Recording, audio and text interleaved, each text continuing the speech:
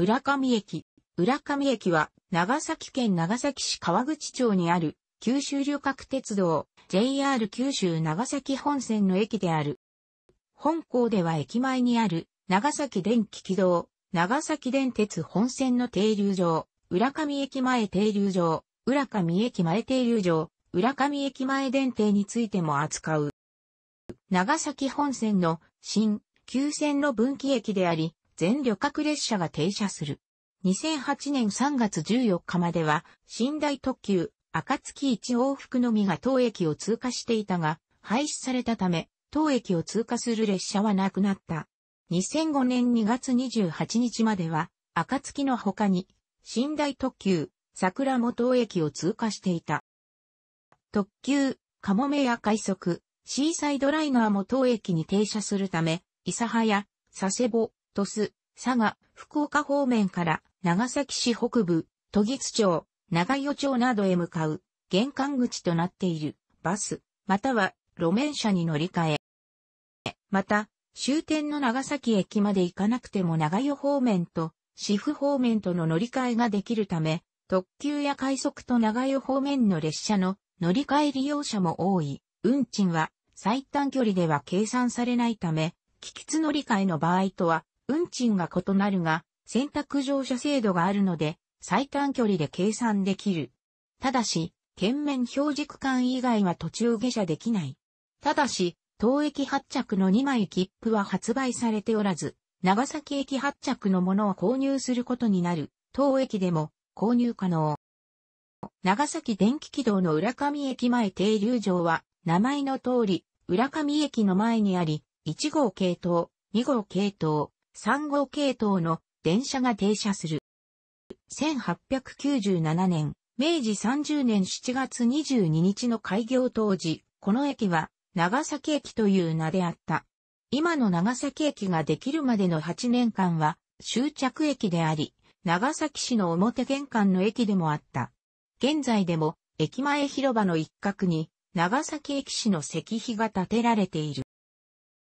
1945年、昭和20年8月9日の長崎市への原子爆弾投下では、当駅は爆心地より約1キロの至近距離に位置していたことから、駅舎は全壊し構内には多数の遺体が散乱していたという。国鉄職員の人的被害も甚大で、勤務中の職員ら約70名のうち即死者20名を含む65名が亡くなったが、諫早駅等との間で被災者をピストン輸送する拠点として機能し続けた。被爆後の駅舎は原爆により消失しばらく建てによる仮復旧の後、1953年、昭和28年に建てられたものである。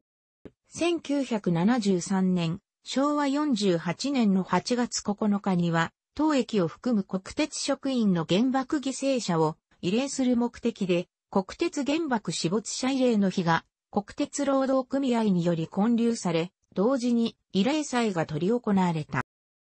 島式ホームの一面2センチ上駅。駅舎側が1番乗り場、奥が2番乗り場である。仮ホームと仮駅舎は、古線橋、屋根ありで結ばれる。仮駅舎以降後はエレベーターが設置されている。2017年3月25日とも。かつては抽選があったため、旧1番乗り場と旧2番乗り場の間は広く空いていた。かつては相対式ホーム2面2線を有していたが、2015年12月23日より、島式1面2線の仮ホームとなった。業務委託駅で緑の窓口が設置されている。なお、23時台まで博多方面からの特急の到着があることから、終日駅員は配置されているが、22時以降は博多方面への特急が発車しなくなることから、緑の窓口は閉鎖され、この時間帯は自動券売機でのみ乗車券を購入できる。自動券売機が2台設置されている。未来長崎ここ多くの開業に伴い利用者が増えたため1台増やされた。自動改札機はないが、守護下の鍵、カードリーダーが2台設置されている。駅には改札部分に LED 式発射表が2面あり、左が市府経由、右が長与経由で諫早方面のみの表示となっている。長崎方面は次の長崎駅で終着となるため、時刻表による掲示となっている。また、長与行きの列車は、隣の長崎駅と同様に、長与までと表示される。駅自動放送は、周辺の西の浦上駅、長与駅などと同じ、まもなく、列車が参ります。危ないですから、黄色い線の内側へお下がりください。とだけ流れる、簡易放送となっており、列車の案内は駅員によって行われる。1.2番ホームとも列車接近案内装置が設置されている。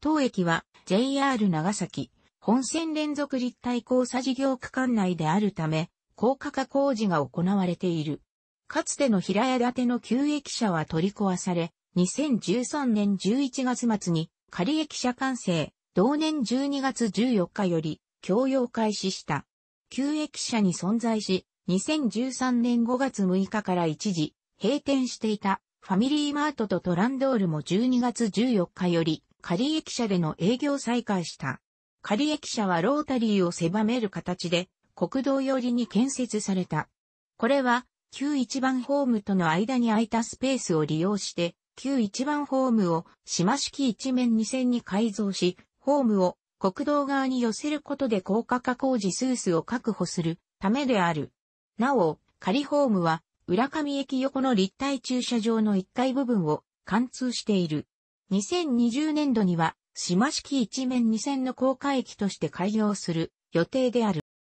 連続立体交差化事業により、当駅周辺は全線が仮線路への移行となった。かつては浦上駅から諫早方面へ進むとクロスポイントがあり、そこからは長崎本線の新線と旧線の単線並列区間が続いていた。2015年12月23日より既存の高架、終了区間の松山町付近から浦上駅までが仮線路の単線一本となったため、これが新線と旧線との分岐点となっている松山町付近から長崎トンネルまでの約 1.5km は長崎本線の新旧線が並走する単線並列区間、長崎電気軌道と並走する。すでに高架化されている。旧線は電化されておらず、直進する列車はすべて機動車である。一方新線は電化されており、非電化の大村線直通列車は機動車、それ以外の大半の列車は電車により運行されている。2016年10月に浦上駅前から浦上川歩道橋をつなぐ浦上駅歩道橋が線路高架化工のため閉鎖、撤去された。代替路として諫早寄りに地下通路が設けられた。停留場は、浦上駅前を走る併用軌道上にあり、ホームは道路上に置かれる。ホームは2面あり、浦上駅に並行して伸びる2本の線路を挟んで、向かい合う相対式ホーム。駅側にあるのが赤狭間方面行きのホーム、反対側が長崎駅前方面行きのホーム。ホームには横断歩道橋と横断歩道が接続する。元は歩道橋のみだったが、利便性を向上させるため2004年に横断歩道が追加で設置された。1915年の開業当初は南寄りにあり、当時の路線は浦上駅前から長崎大学病院、旧長崎県立病院の門前まで大きくカーブを描いて迂回するようなルートをとっていた。この区間は専用軌道で途中には長崎電気軌道で唯一赤色灯付きの踏切があった。ルートが変更されたのは1947年5月、原爆投下から浦上駅前引く大橋間が復旧した時のことで、都市計画に基づいて、浦上駅前から浜口町までが一直線に結ばれるようになった。市府経由の列車を利用するために、松山町、住吉方面から路面電車やバスを利用し当駅で JR に乗り換える利用者も多い。浦上駅の各年度の1日平均乗車人員は以下の通り。駅前広場を挟み国道に面する。駅の裏には長崎原爆病院、森町側には未来長崎ココウォーク、商業施設、ココウォークバスセンター、バスターミナル、ココウォーク1階、長崎ブリックホール、コンサートホール、国際会議場、長崎文化放送、放送局、長崎新聞社、長崎西高校、活水中学、高校など公共、文教施設が多い。また、バス、路面電車、北部方面への乗り換え利用者も多い。この駅の利用者は通勤通学者が多数を占める。最寄りのバス停は国道沿いにある長崎自動車、長崎県交通局の浦上駅前バス停。他にもここを置く森町バス停やここウォークバスセンターが徒歩圏内にある。楽しくご覧になりましたら購読と良いです。クリックしてください。